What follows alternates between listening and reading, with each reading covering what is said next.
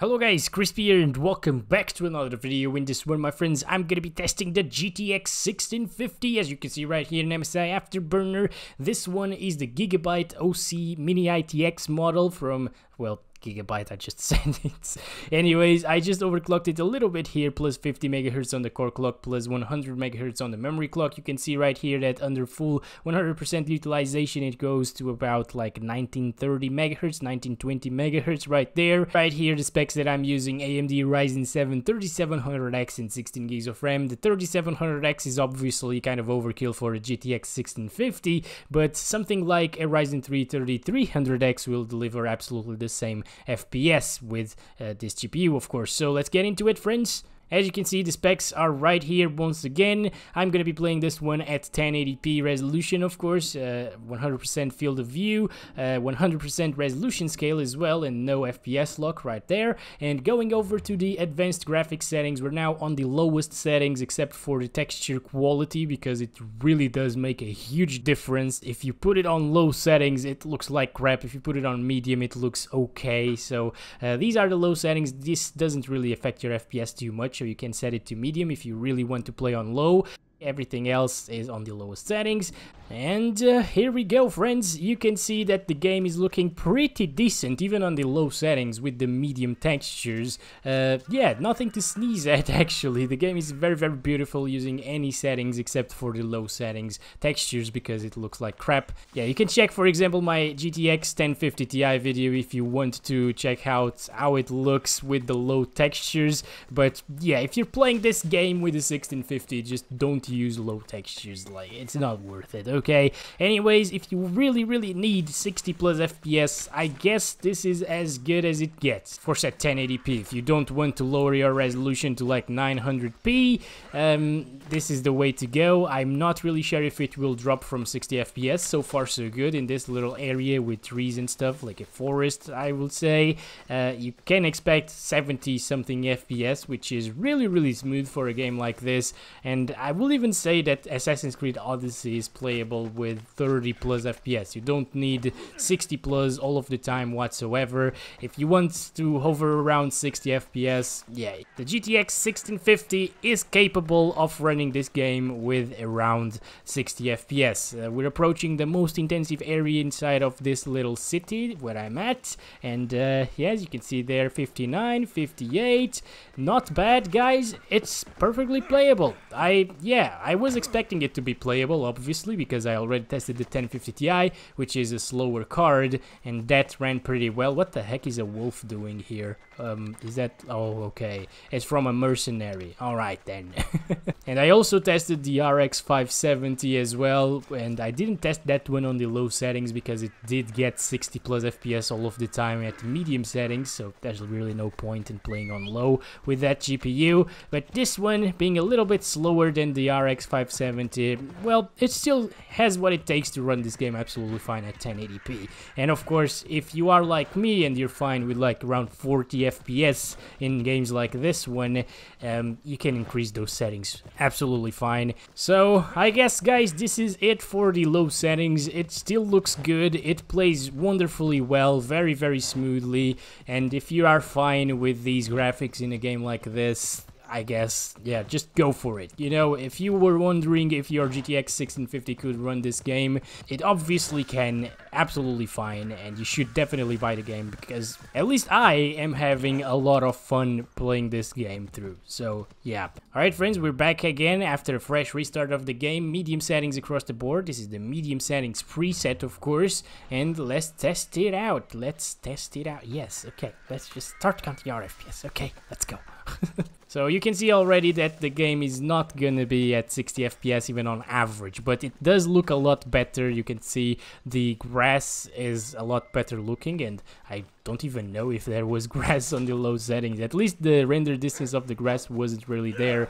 Um, let's just get this wolf right here. Okay, good stuff. We should do something. I think I'm gonna conquest some outpost or something like that. First of all, I'm gonna go to that little city right here and see our FPS inside of it because it's usually pretty demanding, okay? Uh, my voice is cutting out a little bit actually today. I have filmed like four videos today because I always need to record record a lot of videos before I make the Sunday video, which I always do on Friday, uh, and that one will take all day to record because, uh, well, it's a special video, you know? You like it, I like it. Wasn't the wolf gray just like five seconds ago. I, I don't know. I don't care. Let's go. You can see that even in the most demanding area inside of this city. Jesus Christ, dude. Why? Why do you have to be like that, Phobos? Why? Anyways, 52 FPS or 51 was the minimum so far, right there, and looking in that direction, of course. Again, 51, I saw it there. And uh, yeah, it seems like it's still completely playable on medium settings and the game looks quite good. So if you want to play this game, I definitely recommend medium settings to go with the GTX 1650. If of course you are after that smooth experience of 60 FPS or 50 to 60 FPS, which is okay, especially if you have a G-Sync compatible monitor, it will feel very, very smooth. He, he, he isn't really seeing me for some reason and I'm not really sure what he's doing. Look at him, just looking at at the ground, shoving his hands in the grass and in the rocks there. Hello, buddy. Will he see me if I stand right here? Um, yes, he will. Okay, finally. Right. You are dead, friend, because you took too long. Hello, guys. Can I sit with you, please? Right here. Hi. Perks of playing in the easiest difficulty, friends. Yes, I am a noob even in single-player titles. I prefer everything to be very, very easy. This doesn't really seem like a very intensive area, but it is intensive for some reason. Maybe it's the water, I don't know. Hello, people. What are you doing?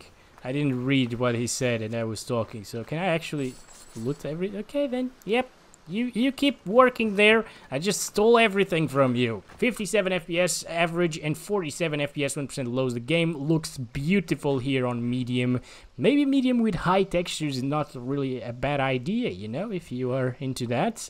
Right guys, we're back into it. You can see already high settings are applied and uh, okay.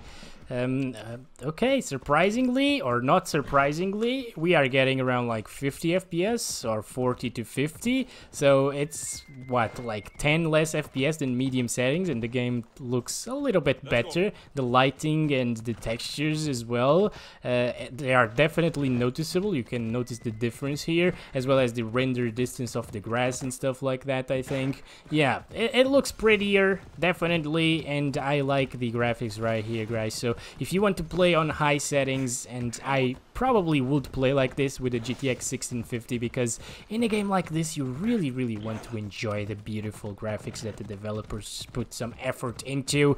Like you shouldn't run a game like this on medium or low settings if you have something capable like the GTX 1650 of doing at least 30 plus FPS at the high settings. And as you can see right here 40 not bad. It doesn't seem like it will drop from like 35 or something like that even in the most demanding areas in this map. So that's obviously a very, very nice thing. Yeah, this is just really, really nice, guys. Look at the water quality right there. This game is so gorgeous. Oh my gosh. You can do it. You know you can do it. Come on, man.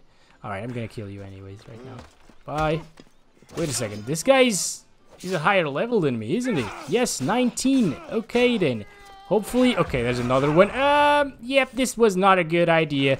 I didn't really know that the guy was level 19. oh god, even the chickens. Oh no. Please, please, please, please, please, please, please. No, no, no, no, no, no, no, no, no, no, no. Okay, okay, okay. The chickens are really, really badass, guys. Holy crap. I was not expecting that. So, we just found a bigger city right now. I have never been to this city, and um, we're still getting pretty good FPS inside of it. So, even if you find yourself in a demanding area like this one, it's it's gonna be very very playable. As I told you guys, the performance is quite consistent across the board. That's what I wanted to say. Alright guys, so yeah, definitely play on high settings if you want like a 40 something FPS experience. Why aren't they spotting me? Well, I guess, yeah, I'm playing on the lowest difficulty, but uh, I want to take out this guy because for some reason he he he's a bounty holder or whatever it is. I, I have no idea actually.